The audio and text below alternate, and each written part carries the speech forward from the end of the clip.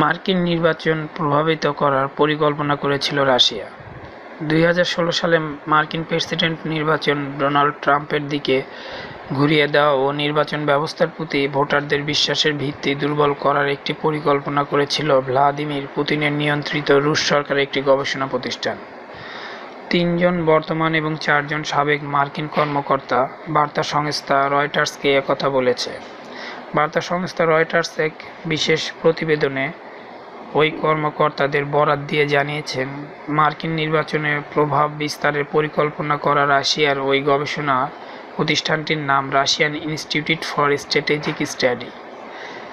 এই প্রতিষ্ঠানের ওপর রুশ প্রেসিডেন্ট ভ্লাদিমির পুতিনের পূর্ণ নিয়ন্ত্রণ রয়েছে। পুতিনের দপ্তর থেকে নিয়োগ পাওয়া সাবেক পররাষ্ট্র গোয়েন্দা কর্মকর্তাদের দ্বারা এটি পরিচালিত হয়। নাম প্রকাশে অনিচ্ছুক ওই মার্কিন কর্মকর্তারা বলেছেন, পুতিন ওই প্রতিষ্ঠানটির মাধ্যমে মার্কিন নির্বাচনে প্রভাব বিস্তারের পরিকল্পনা করেছিলেন। ওই কর্মকর্তারা দাবি করেন, গত জুনে প্রথমবারের মতো একটি নথি প্রকাশ করে প্রতিষ্ঠানটি। সেই নথিতে সুনির্দিষ্ট কোনো দিক নির্দেশনা ছিল না। তবে নথিতে একটি প্রচারণা কর্মসূচি চালানোর কথা বলা হয়েছিল।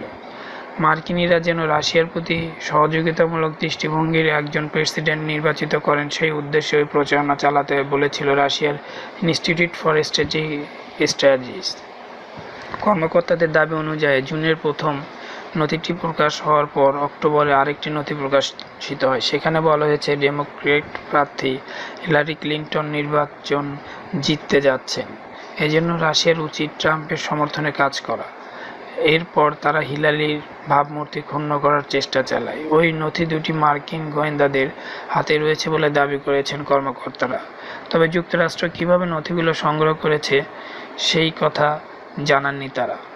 আমার এই চ্যানেল হতে আপনারা যদি লেটেস্ট নিউজ পেতে চান, তাহলে অবশ্যই অবশ্যই সাবস্ক্রাইবের মাধ্যমে আমার সঙ্গে থাকুন। ধন্যবাদ সবাইকে।